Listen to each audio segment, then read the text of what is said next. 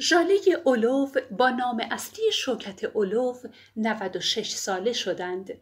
ایشان شاعر، گوینده رادیو، صدا پیشه و بازیگر تئاتر، سینما و تلویزیون در سال 1306 در کوچه شریعت واقع در محله سنگلج تهران به دنیا آمد.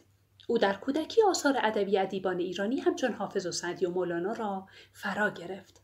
ژاله علو فارغ التحصیل دانشسرای مقدماتی تهران در سال 26 و همچنین فارغ التحصیل هنرستان هنرپیشگی تهران در سال 29 هستند. مدیر دوبلاژ بسیاری از های مطرح والت دیزنی همچون زیبای خفته، سیندرلا، سگ خالدار، گربه های اشرافی، پینوکیو، سفید برفی و هفت کوتوله، رامکال و سریال سالهای دور از خانه اوشین هستند. زاد روزشان خجسته و تنشان. سلامت.